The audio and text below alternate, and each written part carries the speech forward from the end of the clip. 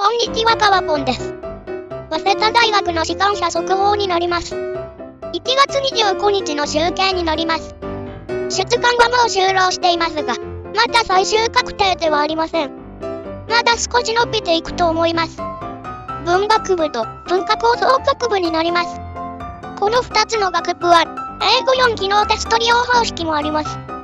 ざっくり言うと、英検であれば、2200以上で出願可能です。英語の個別試験は免除になります。一般の個別方式とも併願が可能です。すべての方式で、前年比の8割から9割近くのところまで来ていますね。このままだと、前年並みで落ち着くという印象でしょうか。これから一気に増えたらごめんなさい。